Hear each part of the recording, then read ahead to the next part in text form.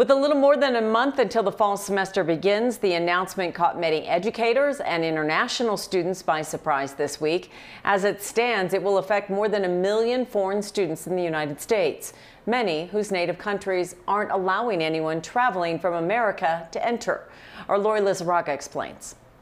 As of Monday, international students will not be allowed to stay in the U.S. if their university goes online only this fall. I'm a professor.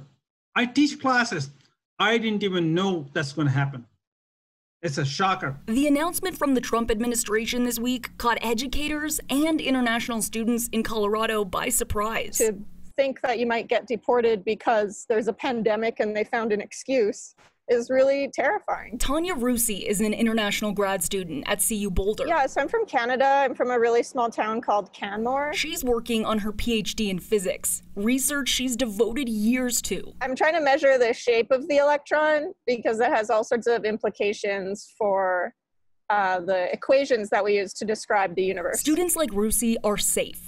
Her research counts as in person. I would love to see our university say that it's not going to cooperate with ICE. She's worried for other international students. So is Joshua Mitzen, an attorney at the Meyer Law Office in Denver. There is simply no justification for this whatsoever. Two years ago, Mitzen was an international student himself. I don't think it solves anything. I think it just causes a lot of problems for the hundreds of thousands and millions of students um, that are here um, from from overseas. It's more political than logical. H.G. Parsa is a professor who also works for Sewa International, a Hindu faith based organization that helps international students. He, like Roussy and Mitzen, wants to see a better policy for international students and fast. What problem are we addressing? Are we solving asking students to go home?